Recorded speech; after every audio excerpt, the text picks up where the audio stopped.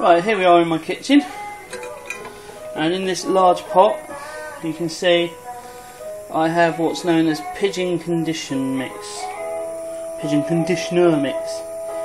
Uh, maples, tares, peas, um, there's wheat in there, lots of maize obviously, uh, little bits of bulgur and it's a good mix it's for fattening up pigeons. Uh, racing pigeons this is, this isn't ones you eat, but maybe. Uh, I put a kilo in the pot, sorry, half a kilo in the pot, and I've added the water until the top basically. And I've left this on uh, high for until it started to boil, and then I've turned it down to simmer, and uh, it's been in here for an hour now. And if you can stand the heat, you'll find that when you crush them, they're all soft. Um, if you use particles raw with uh, carp or barbel or tench, uh, they'll swell inside the stomach with the stomach juices, and uh, fish in the past have been known to be killed by this. This is why uh, a lot of fisheries say you have to buy their particles on site uh, because they know they're prepared properly. Right, this is going to get another hour now, um, and they should be lovely.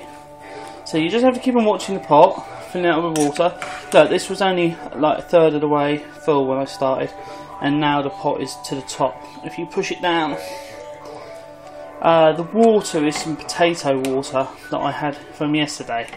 Um, it just gives a little bit of starch and flavour to what's there. So, and what I'm going to do with these is when it's finished, I'm going to dry them off on a tray, uh, drying tray, and uh, they'll be PVA friendly after I've added some groundnut oil. You can buy that in the supermarket. Um, Chinese supermarkets, you can buy a lot of it in bulk. Then I'm going to add some uh, soy sauce because it's very salty and some chili to it. So I'll have some salt, chili, uh, flavoured particles. Add to that some uh, uh, uh, chopped up, um, some of them ground, and you've got a lovely PVA bag method. Um, you can also add, um, I'm going to add some uh, 4 mil betaine pellets to it. So there's a tares and stuff. They're so soft now, and uh, they're all swollen up. I'm going to give them another hour just to see how much more liquid they can take on. But um, you can also pre, uh, pre-soak these for an hour before you start, uh, which is useful.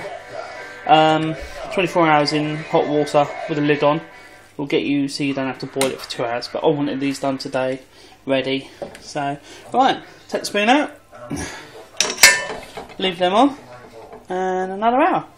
Turn the gas down to uh, minimum. Made a bit of a mess getting them in there, so uh, there we go. Right, leave it on. Put the lid on. But leave a gap, because otherwise it will spill all over your cooker. Right, there go. Right, I've just come down with the bait you saw me make earlier, and I've just put out eight spoonfuls along this bit here.